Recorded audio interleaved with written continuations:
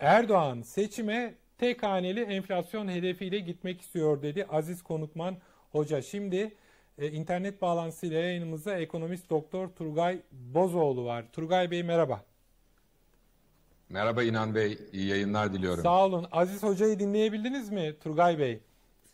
Dinleme şansım olmadı. Aziz Hoca yayında mı şu anda? Hayır gitti. Dinle, yani Aziz Hoca'yı dinledik. Ondan sonra sizi E, aldık. Çok isterdim onunla birlikte yayın yapmayı. Vallahi çok eğlenceliydi. Ee, Evet. Yani çok iyi anlatıyor Aziz Aziz hocam. Çok basitleştirerek anlatıyor. Ee, siz ne diyorsunuz Turgay Bey? Tam bir fiyasko dedi Aziz Hoca. Şimdi Aziz Hoca her şeyden önce benim iyi bir dostum ve çok saygı duyduğum bir hoca. Onun için birlikte olmak isterdim.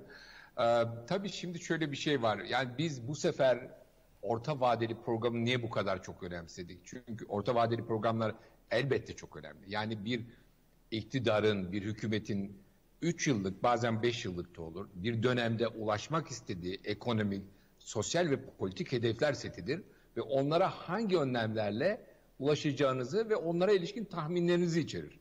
Fakat geçmişte bunların hiç tutmadığını ve biz bunda biliyorsunuz üçer yıllık planlar var. Her yıl yeniliyoruz. Bütçeyi de buna göre hazırlıyoruz. Hemen bir ay sonra hedeflerin ve tahminlerin geride kaldığını ve tutmadığını görüyoruz. Şimdi bunu ciddiye aldık. Neden ciddiye alındı? Bütün herkes bekledi. Çünkü yeni bir ekonomi anlayışı var. Rasyonele döneceğiz dediler. Fakat maalesef biz şunu görmedik. Yani bir ekonomik çerçeve, bir ekonomik program. Bizim maliye, para politikaları, politikalar setimiz budur denilen bir şey görmedik.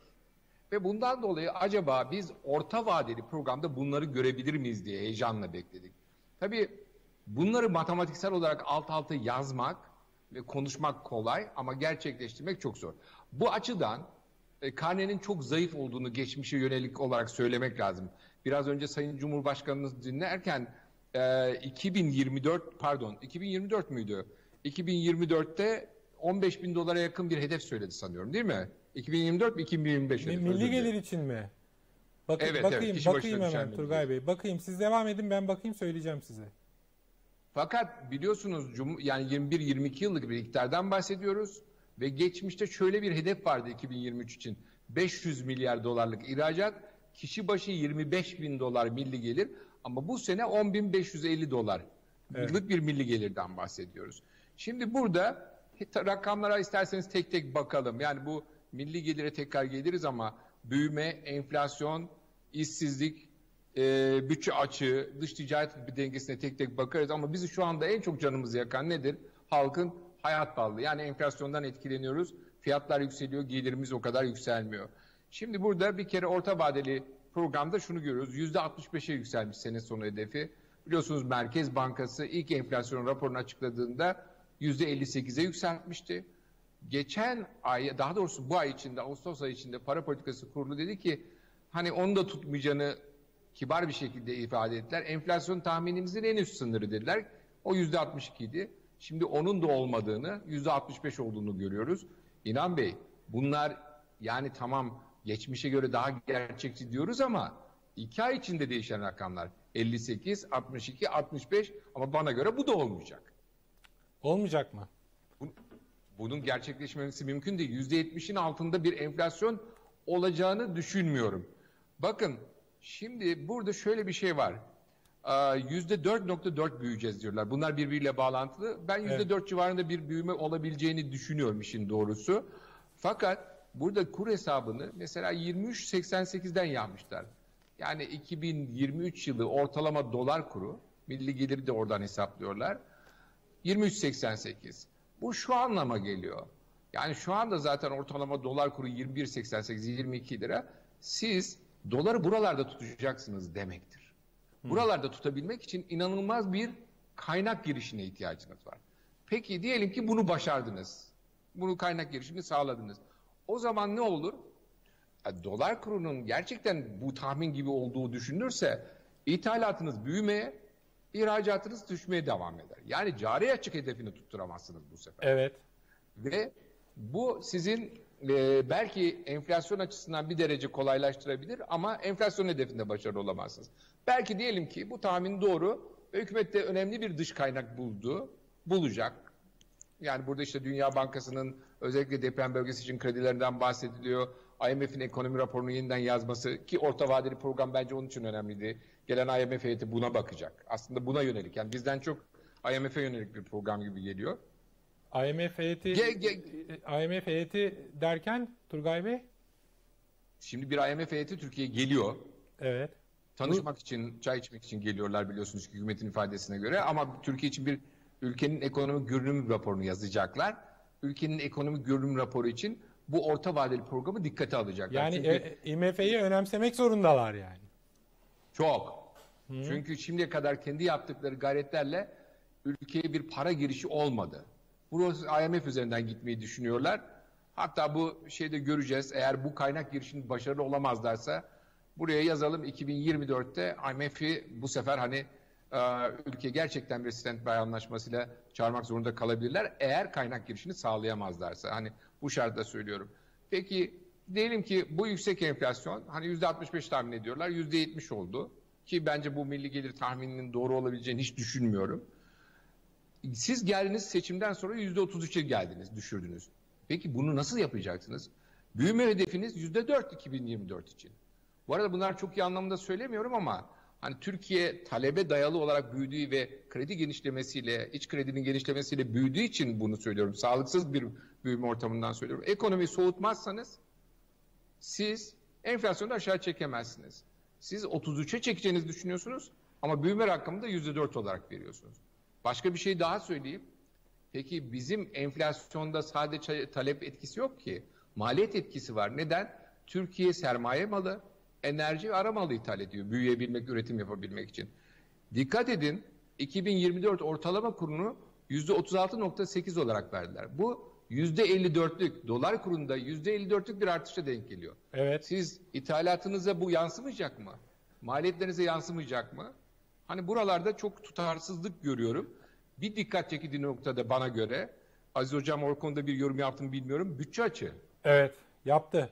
Ee, yaptı Turgay Bey. Buyurun siz de dinleyelim. Sonra bir sorun varsa. Yani bizim bu özellikle Aziz Hoca ile falan daha önce konuştuğumuzda hani çok ciddiye başlangıçta söylediğimiz ciddiye alınmıyordu ama onun üstünde bir rakamdan bahsediyoruz. Biz 1.4 trilyon olarak hani bunu 5 ay 6 ay önce de söylüyorduk böyle olacak diye bütçe açığı.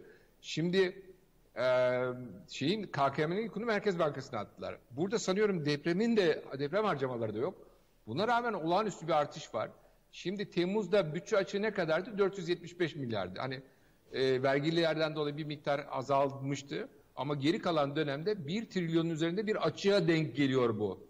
Yani onu açıklamakta çok zorlanıyorum. O- o- bu hani faiz peki- ve deprem harcamaları. Hocam orta vadeli programdan vergi artışı çıkabilir tahminleri yapılmıştı. Bu bütçe açığı yani sizin de e, e, az önce söylediğiniz bütçe açığı varsa eğer bu e, programdan böyle bir açık ortaya çıkıyorsa yeni vergi artışları da beklenmeli mi bir taraftan?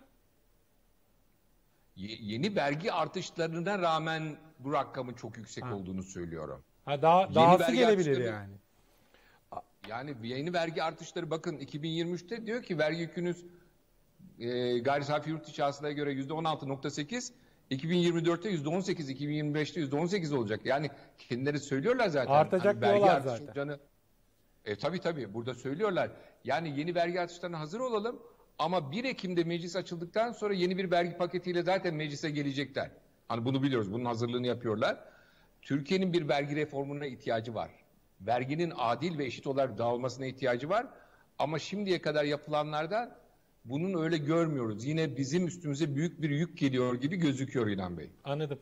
Ee, Turgay Bey, şimdi bu dolar e, TL tahminleri var orta vadeli yani orta vadeli az önce Aziz Hoca anlattı da oradan e, söylüyorum. Yani e, bir takım işte verileri bölerek bunu buluyorsunuz. Yani doğrudan orta vadeli programda dolar TL tahmini yer almıyor anladığım kadarıyla. E, Bloomberg şöyle özetlemiş. Ha ekranda şu anda 2023'te 23,9, 2024'te 36,8, 2025'te 43,9, 2026'da 47,8 olacak diyor. Yani dolar neredeyse 2026 yılında 50 lira olacak diyor orta vadeli ekonomik. Daha program. yüksek olacak diyor İlhan Bey. Daha yüksek olacak diyor. Bunlar ortalama kurlar. He. Yani Mesela, daha mesela Şimdi milli geliri şöyle hesaplıyor mesela. Diyor ki doğrudan yıl sonu dolar kuruna bölmüyor. Yani ben bu milli geliri yılın başından sonuna kadar elde ettim. O zaman dolar kuru farklıydı. Ortalama dolar kurunu alıyor. Bakın bu söylediğiniz rakamların tamamı ortalama kurlar. Onun için diyorum ki 2024'te dehşetli bir artıştan bahsediyoruz. Bu tahminler doğruysa. %54'lük bir artış. Yani 2023'te tutacaklar gibi gözüküyor. Evet. Seçim var. O zaman enflasyonla savaşmayacaklarını anlıyorum ben buradan. Dolar kurtulacaklar gibi gözüküyor. %54'lük hani faizi mi acaba çok çalıştıracaklar? Tabii bu aklıma geliyor bir taraftan. %54'lük bir artış ortalama dolar kurundan. Yani bu ortalama dolar kuru olduğu için 36.8 bakın 2024'de bakın. Yani yıl sonu o 40 lira civarında bir rakama işaret ediyor. Yani Evet. hepsi için gittiğinizde ortalama olduğu için o rakam daha yukarıda bitecek anlamında. Turgay Bey bir de şunu merak ettim ben. Dolar kuru yükseldiği zaman biz durduk yerde fakirleşmiyor muyuz? Yani paramız eriyor. Evet. Evet. Evet. Şimdi Yani diyor ki dolar- yani 2026 yılında dolar 50 lira olacak kabaca 50 lira olacak diyor ama enflasyonda 8,5 olacak diyor. Yani dolar 50 lira olacaksa bu fiyatların durduk yerde artacağı anlamına geliyor. Benzin akaryakıt fiyatı artacak. Akaryakıt fiyatı artınca yediğimiz içtiğimiz her şeyin fiyatı artacak. Ama enflasyonda 8,5 olacak diyor. Nasıl nasıl olacak Turgay Bey?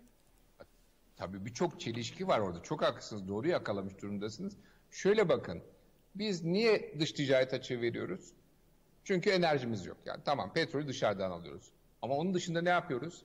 Sermaye malı dediğimiz yani üretim için fabrikaya koyduğunuz makine teçhizat var ya Evet. onu da dışarıdan alıyoruz. Kendimiz üretmiyoruz. Bir de arama mallarını özellikle Çin'den arama mallarını alıyoruz. Yani üretim yapımız 2005'ten sonra çok bozuldu. Bunu söylemek lazım. Peki biz bu dış ticaret açığını kapatabilmek için bir taraftan turizm gelirlerini ve ihracatı artırmak durumundayız. İthalatı da azaltmak ya da o, o noktada tutmak durumundayız. E peki siz ihracatı nasıl artıracaksınız?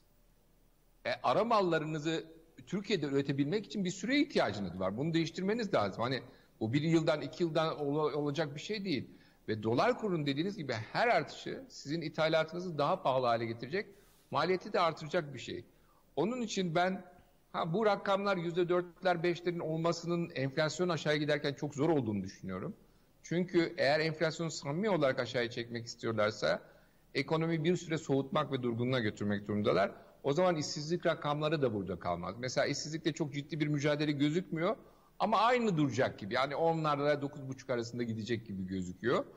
Onun aşağıya gelmesi için bir kere iyi büyümeniz gerekiyor. Türkiye'de de işsizliğin aşağı gelebilmesi için şunu biliriz biz. Yılda 700-800 bin kişi, hoş TÜİK sürekli, rakamları değiştiriyor ama e, iş gücüne katılır Türkiye'de. Bunun için doğal Türkiye'nin büyüme oranının %5'lerde olması lazım. Hani %5'in üzerinde büyüdüğünüz zaman zaten işsizliği aşağıya doğru çekersiniz. %5'lerin aşağısında olduğunuz zaman işsizlik artar.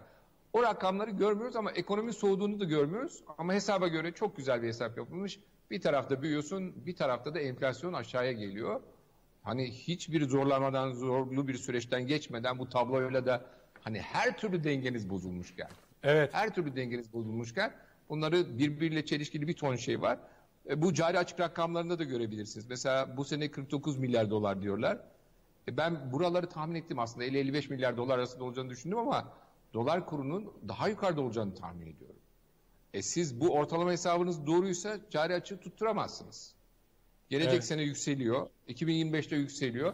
Ve ayrıca bütçe açıklarında son, e, önümüzdeki 3 yıl çok yüksek gideceğini görüyoruz. Bütün vergi artışlarına rağmen. Bu arada Turgay Bey resmi gazetede yayınlanmış orta vadeli e, ekonomik program. Oradan da bakılabilir. E, bu arada bir şey daha sormak istiyorum size. Cumhurbaşkanı Cevdet. Yılmaz'dan sonra konuştu. Dedi ki e, KKM görevini yerine getirmiştir. TL mevduata dönüşmesinin yolunu açacağız dedi. Şimdi e, dolar için öngörülen bu ise insanlar orta vadeli ekonomik programda bunu gördükten sonra niye KKM'den çıksınlar da parayı gidip Türk lirasına yatırsınlar? Şöyle olabilir, doğru olabilir. Şöyle eğer dolar kurunun artmayacağını görüyorsanız ve siz enflasyonun üzerinde TL'ye bir mevduat faizi veriyorsanız Hmm. o zaman insanlar TL mevduata geçebilirler. Dolardan daha karlı olursa diyorsunuz. Evet ama bu TL TL e, pardon TL e, olarak ticari kredilerin de maliyetinin artması anlamına gelir. Yani ekonomiyi soğutmanız lazım, durgunluğa götürmeniz lazım. Bir miktar işsizlik olur. Bu rakamlarda o çok gözükmüyor. Yani buradan çıkabilirsiniz. Bunu da başarabilmeleri için yani kurun istikrar kazanabilmesi için hani satacak çok fazla rezerviniz yok. Burada belli bir şeyi çevirdiler ama mutlaka dış kaynak girişi olması gerekiyor. Sanıyorum bir dış kaynak girişini buldular ya da planladılar. Rakamlarda o gözüküyor. Yani dış kaynak girişi olmazsa bu tablo tamamıyla yıkılır. Yani özellikle Ekim, Kasım ve Aralık ayları bizim e, dış borç ödemeleri de ithalatımızın üzerine ekleneceği ve enerji ithalatı da artacağı için çok zor dönemlerdir. Mutlaka bir dış kaynak ihra- e, şeyine girişine ihtiyaç var ki rakamları burada tutabilirsiniz. Anladım. Yani o zaman sizin ne ortalama dolar kuru hesabınız tutar, ne cari açık hesabınız tutar, ne enflasyon hesabınız tutar. Enflasyon hesabının çok da tutacağını düşünmüyorum zaten. Şimdi Turgay Bey, e, meseleyi daha da basitleştirmek için e, şuna cevap vermenizi rica ediyorum. Biz sıradan Buyurun. vatandaşlar, ücretliler, emekliler, memurlar, işçiler bu orta vadeli programa bakarak önümüzdeki 3 yılı nasıl planlasınlar? Mesela işte bir ihtiyaç var eve buzdolabı çamaşır makinesi alınacaksa onu şimdi alsınlar mı? Dolar 50 lira olacak diyor. Dolarları varsa tutsunlar mı? Yoksa aman hiç kıpırdamasınlar, hiçbir şey almasınlar mı? Ne yapsınlar? Ya da ve, Şimdi ve şu Turgay Bey ve şu ve şu yani bu günler iyi günlerimiz daha kötü günler geliyor mu bu programa göre? Şimdi orta vadeli programa göre mi söyleyeyim, Turgay Bozoğlu olarak mı söyleyeyim? Orta vadeli programa bakarak Turgay Bozoğlu olarak söyleyin. Çünkü orta vadeli programa bakarsak sene sonuna kadar önemli bir kur artışı gözükmüyor. Gelecek yıl %50'nin üzerinde dövizde bir kur artışı gözüküyor. Ben de diyorum ki bunları tutturmaların bir şeyi var, şartı var. Kaynak. Ee, kaynak girişi ama 2024'te kurdaki sıçramada şunu gösteriyor. Ee, yani 2024'e kadar seçi, yerel seçime kadar her şeyi tutacaklarını ondan sonra yeniden bir dengelenme modeli olacağını 2024'ün hayatımızın çok zor olduğu bir dönem olacağını buna hazırlıklı olmak gerektiğini görüyoruz. Ayrıca yüksek enflasyon dönemi devam ediyor. İnsanlar kendileri de bunu yaşıyorlar, görüyorlar. Ve inan Bey bir şey daha var. Bu önümüzdeki rakamlar peki geçmiş ne oldu? Yani pazartesi açıklanan, TÜİK rakamı aslında bizi şunu söyledi. Size geçmişte biz devlet olarak rakamları değiştirdik, size kaybettirdik.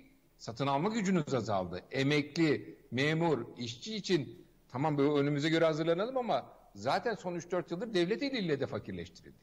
Yani enflasyon rakamlarının doğru açıklanmaması bizi fakirleştirdi. En azından enflasyon kadar kendimizi koruma imkanımız vardı. Bırakın üstünde refah payı almayı.